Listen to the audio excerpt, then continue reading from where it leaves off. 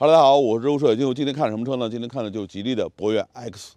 其实从这个车的外观也看得出来，车的外观相较于过去的博越有很大的变化。它正儿八经的首次采用了啊吉利家族的能量风暴的风格，整个车用机甲式的那种装饰风格来让这个车变成一这个变形金刚一样的状态。其实它这个诠释又是一个三号学生的变化，相当于有具就是一个变形金刚，又是一个三号学生。其实我们这几年一直对于博越有很大的关注。其实博越这款车型。五年的发展历史，然后它有了自己很强大的粉丝客群，关注博越的人非常多的，它的销量也是一直以来就是销量来说也是名列前茅。所以说我们在今天说它这个车型的时候，也是好好聊聊这些年的变化。说到五年前那时候，城市 SUV 更多还是来自于日系的三驾马车，当时的呃本田、丰田、日产的车型，在中国来说可是横行霸道，因为当时的价格来讲也是普遍出现了加价的状态。到如今来讲，博越在那个时代推出的时候，已经已经引发了整个社会的关注。其实在当时来讲，国内很多车企也是不断的想去做一个城市 SUV，更多的车企采用的是在过去的轿车底盘基础上开始打造自己的城市化 SUV。也就是说，在那个时候，我们看到很多车外观特别别扭的，就有点像短腿柯基一样的设计。其实那个时候更多还是没有办法。但是吉利推出博越的时候，是实际上它已经到了一个新的时代。它那个时候做车的时候时候就已经采用前麦弗逊。后多连杆的模式来打造它的城市化 SUV 了。说在那个时来讲，不管是外观还是它的细节、内饰、动力方面匹配，已经足够的稳定了。所以说，博越到现在来讲，可以说在口碑方面各方面可以说引发了整个社会的关注。每个用过它的车都对它是称赞不已。所以说，这么多年变化也看得出来，博越这个车系并没有更多的泛滥，没有过多的衍生，一直坚持的就是博越这款车的到现在为止。这次的大的改款就是更多在外观上、动力体系上以及整个气架结构，包括智能化方面做了很多的优化和升级。所以，我们都看这款车的时候，很多地方看到很多兴奋的地方。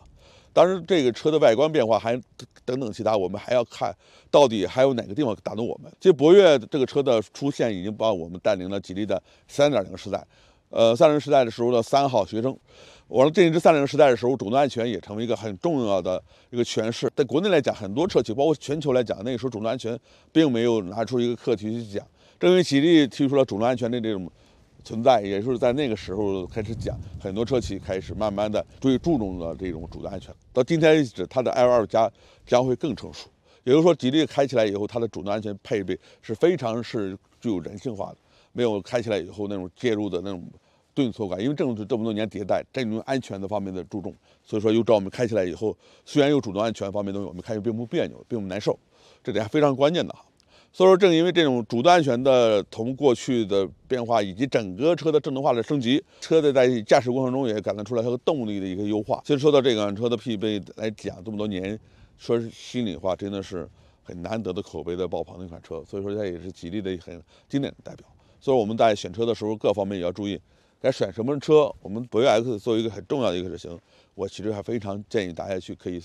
考虑一下这款车型的。OK，我们先说一下这车的内饰。其实我觉得吉利家族做车是越来有它自己特有的代表性的。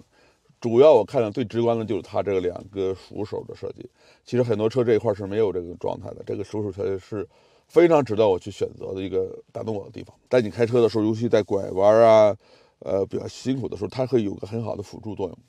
同时呢，它这个抓力的有的时候你会，呃，不管是上下车还是做其他，都很好的，这点是非常关键的，并且它是特别像藤椅的设计，就这点是非常重要的。所以你坐下来以后，手搭在这儿，特别像坐在藤椅上那个舒服的支撑，非常舒服的，这点非常有意思。并且它的这种错位的设计，不像过去只是对称，它这种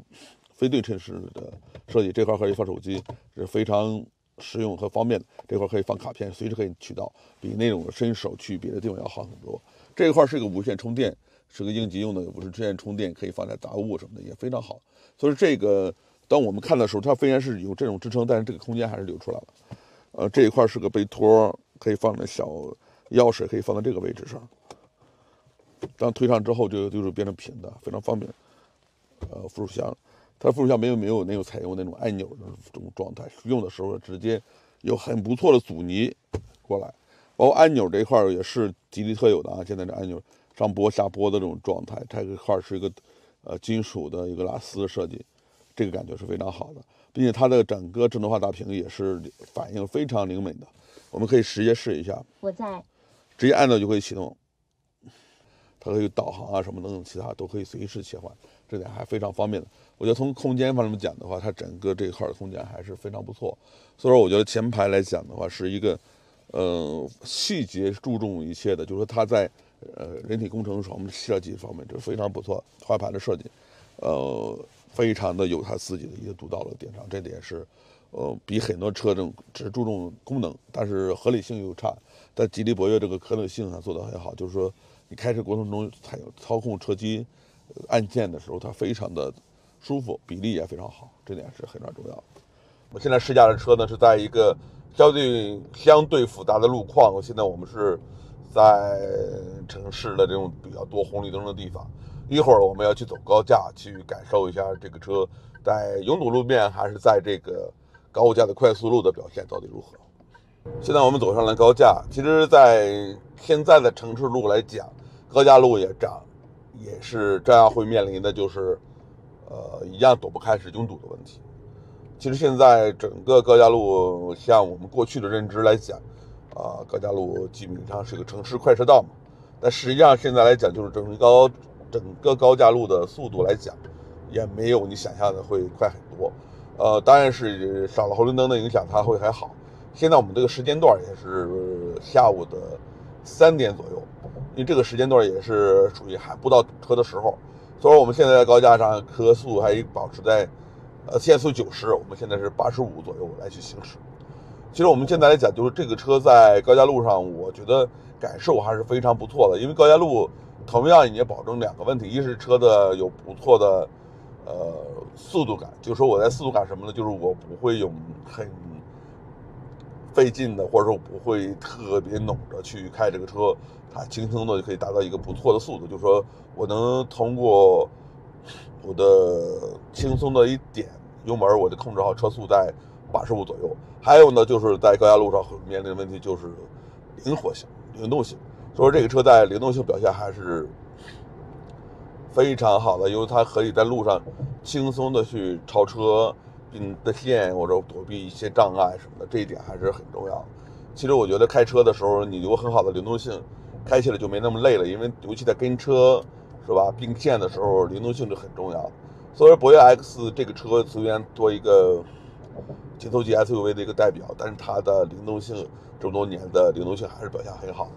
当然还有一个很重点，这个车的 NVH 降噪效果做的非常的棒。当然，我们说到 NVH 降噪的话，很多时候我们会讲到，哦，一个车是不是多加一些海绵就可以解决了？其实我们觉得，